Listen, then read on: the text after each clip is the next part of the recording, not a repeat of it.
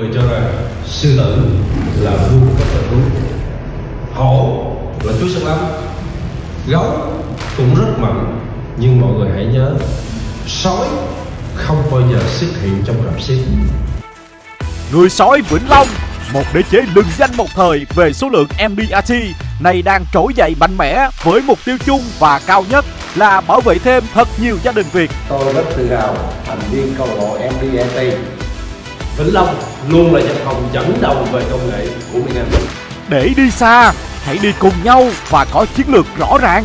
Với cái định hướng à, của Vĩnh Long chúng ta là ngay từ đầu năm 2021 đó là à, xây dựng cái câu lạc bộ MDRT thật sự chuyên nghiệp À, và đó là cái định hướng và là kim chỉ nam để chúng ta à, chạy xuyên suốt trong năm 2021 à, và đến thời điểm này thì tôi thấy rằng đấy là một định hướng hoàn toàn đúng đắn chính xác Trước tình hình dịch Covid diễn biến phức tạp như hiện nay, anh chị em trong đội nhóm của cùng công trứ rất nhạy bén trong việc cập nhật ứng dụng công nghệ thông tin, áp dụng những ứng dụng mới nhất, tận dụng iCloud, các mạng xã hội như là Zoom, Zalo, Facebook để tư vấn cho khách hàng, mang đến cho khách hàng sự bảo vệ tối ưu trong mùa dịch Covid.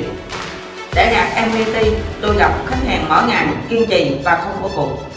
Tôi sẽ sát cánh cùng anh em GA Vĩnh Long sẽ chinh phục con đường MBAT, COT, COT. Bạn có muốn bước chân vào hàng ngũ tinh hoa của AIA Vĩnh Long? Đến với nhóm của tôi, các anh chị sẽ có cơ hội được huấn luyện trở thành những tư vấn viên chuyên nghiệp, trở thành những MDAT. Bên cạnh đó, các anh chị còn có cơ hội phát triển bản thân, tăng thu nhập cho gia đình, được tưởng hưởng xứng đáng với công sức mà các anh chị đã bỏ ra. Đến với đội nhóm của chúng tôi, tôi cùng công trứ chắc chắn sẽ dẫn dắt anh chị đến với thành công. Hơn 10 năm trong nghề, à, mình tin tưởng rằng sẽ giúp các bạn gặt hái nhiều thành công, vượt qua thử thách, chinh phục những ước mơ. Ước mơ lớn, tin tưởng mạnh mẽ, AA Vĩnh Long đang dành mọi nỗ lực để đạt mục tiêu. Với cái mục tiêu uh, rất là lớn của năm 2021 à, Vĩnh Long chúng ta sẽ đạt từ 12 đến 15 thành viên DAD à, với cái mục tiêu này cả văn phòng các anh ID và các thành viên trong câu lạc bộ cũng đã hết sức nỗ lực trong suốt cái thời gian qua và với cái tiến độ như hiện nay thì tôi tin rằng cái kế hoạch chúng ta năm nay sẽ sẽ thành hiện thực. AA Vĩnh Long sát cánh cùng nhau quyết tâm chinh phục MDRT, COT, TOT. Tôi đã đạt 8 năm MDRT, năm nay chắc chắn sẽ đạt MDRT và sẽ bước lên đỉnh MBAT trọn đời.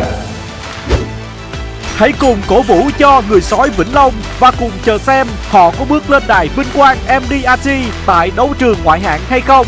Hãy đón xem!